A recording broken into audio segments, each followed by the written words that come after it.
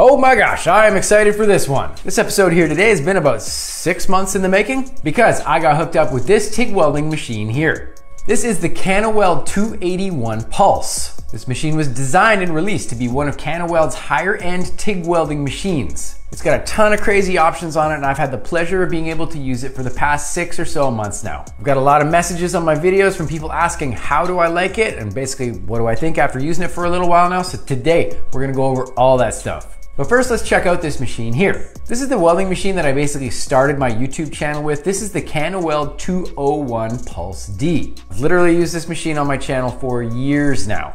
This is Canaweld's entry-level TIG welding machine, and this little thing is a beast.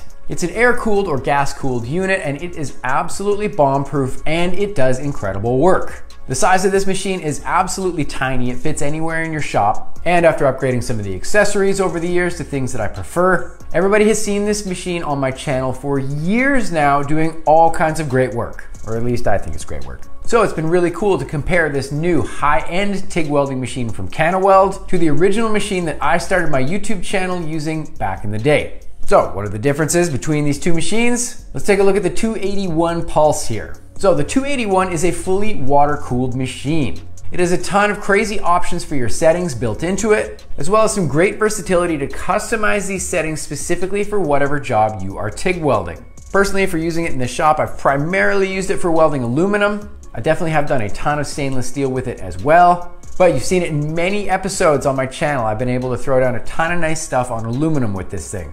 I gotta say that having the extra amperage that I can crank this thing up, it gives me a lot of freedom to weld whatever I wanna weld. And to be honest, this thing is handled so smoothly for whatever project I've done, I haven't even turned it up all the way yet. Now, the entire thing right out the box came with all kinds of accessories as well as a foot pedal.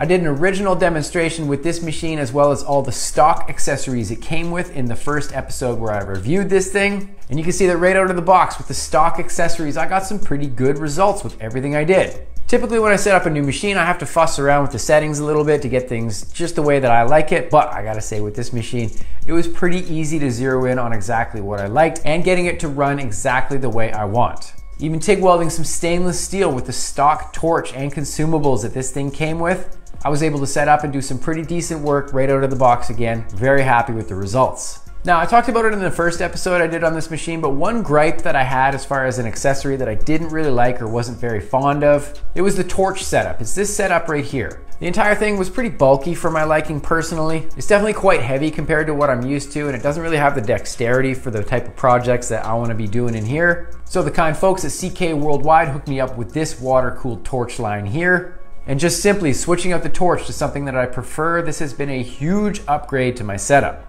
Using the lightweight torch here, I've had much more freedom and comfort for whatever type of job that I am doing. Using the original torch was absolutely fine as far as performance. It stayed nice and cool while I was welding with it. It didn't heat up and burn my hand. But like I said, it didn't quite move and have the dexterity that I prefer in a torch. I definitely like something that's a little more lightweight, kind of like what you're looking at here.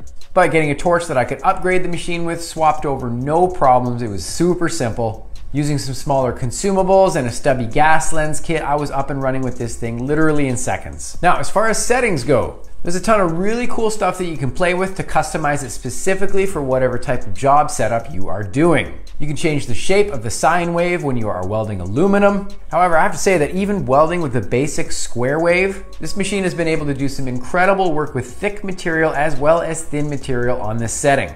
It has a ton of options as far as adjusting the different pulse settings. And if you're welding some thin aluminum, using the pulse settings is a lot of fun to play with because it keeps things so controlled and so precise. You can see here I'm set up to weld some outside corner work with some aluminum here. It's really easy to get this machine set up nicely and keep things nice and cool as I am doing so. Now, one of my favorite things about this machine is the ability to store your settings in different memory banks. That's right, using the original 201 Pulse D machine. Every time you wanted to switch to different settings or a different type of metal, you had to do it manually. With the 281 Pulse machine, all you do is you save your stuff into a memory bank. You can call it up at any time. So for example, if you have your settings set up for a really specific type of welding with aluminum, you can save it right here. If you want to do some different stuff with stainless steel or whatever, you can store it in a different memory bank and you can recall these at any time. All of your settings are stored safely inside of each one. It cannot get any easier than that. As far as other common settings that you might play with, you can adjust your frequency to the parameters that you see here. You definitely get a lot of room to play with the frequency setting on this machine. It's awesome. Now, another thing at the moment I do wish was a little bit different about this machine is I do genuinely wish that I had a little bit more adjustability with the balance on this machine.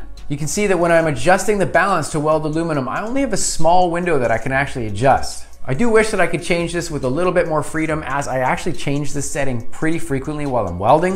I've talked about it on multiple demonstrations on my channel before, but when I'm welding thin aluminum, I like running a little more positive side of the cycle, so I will crank that up a little higher. And when I'm gearing up with more amperage to weld some hotter stuff, I'll actually turn the positive side down to run a little more negative. So with the balance setting being a little bit limited at the moment on this machine, I do find this is a bit of a drawback personally again. I do wish that I had a little more freedom to adjust this as I kind of see fit for the different jobs that I'm doing. But like I said, I have used these settings to weld all kinds of stuff on my channel here so far and it has welded just absolutely beautifully.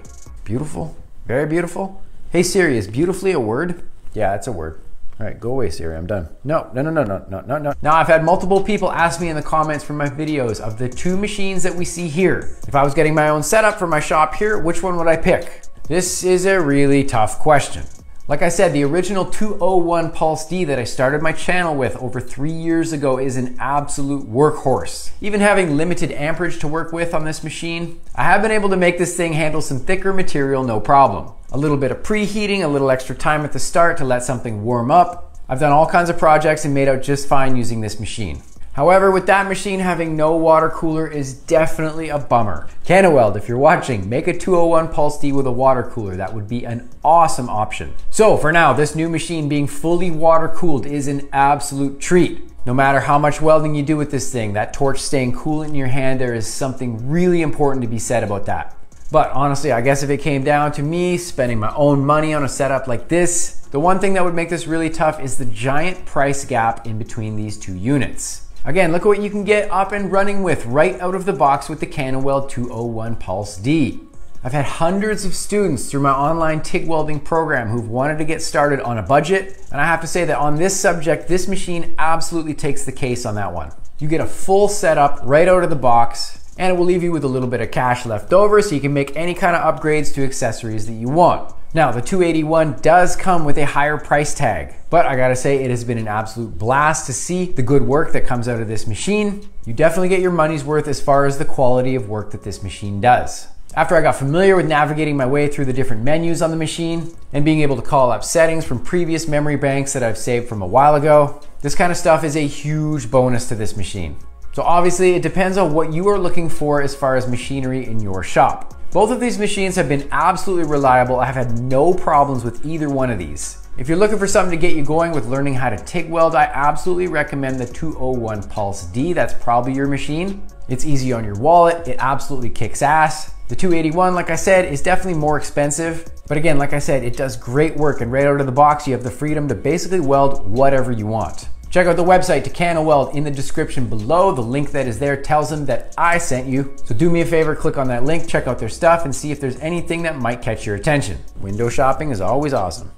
Do a random act of kindness for a stranger today. My name is Dusty, Fill and Chill. We will talk soon. Peace.